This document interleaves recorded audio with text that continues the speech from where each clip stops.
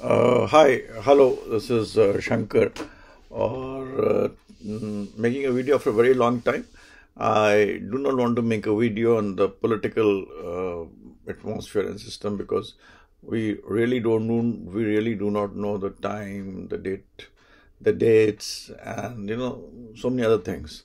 So today I will uh, make a video on certain tips of astrology, mm, which uh, people who love astrology would like it and try it out. It's not that uh, you know, it's not that uh, it is written in some book.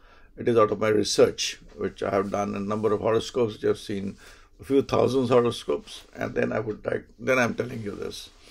And uh, my feedback is that uh, let's start with Jupiter.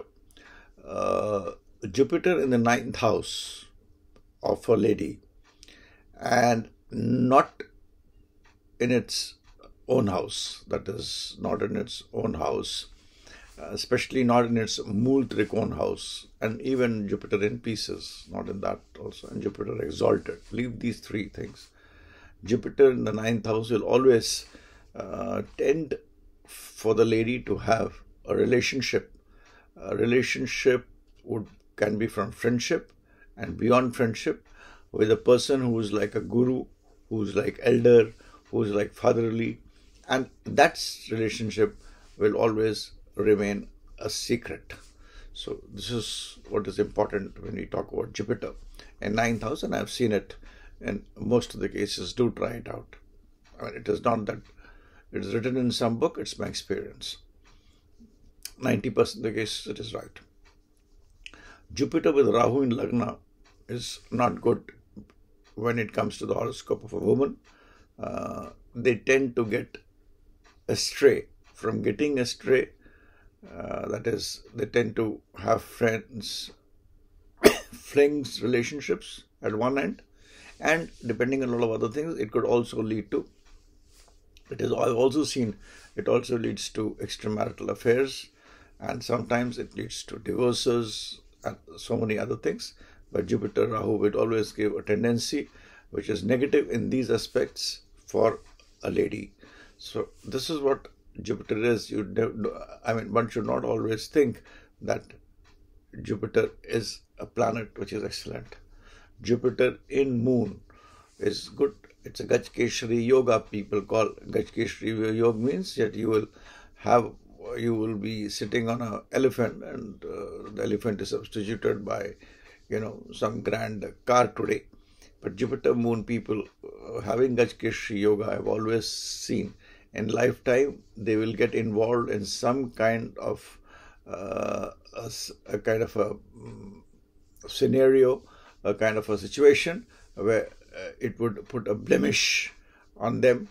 Uh, they may get over the blemish. Uh, they may get. Uh, they may be able to ride over it, and you know maybe get a good name after riding over it but yes, a blemish in terms of some kind of relationship, some kind of scandal involved in some scandal from a scale of 1 to 10 will happen when a Gajkeshri yoga is also present in an horoscope.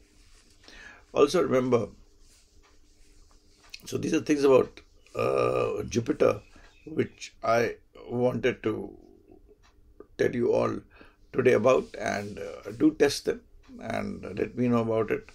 Uh, in my next video, I'll tell you about certain other planets, what they do.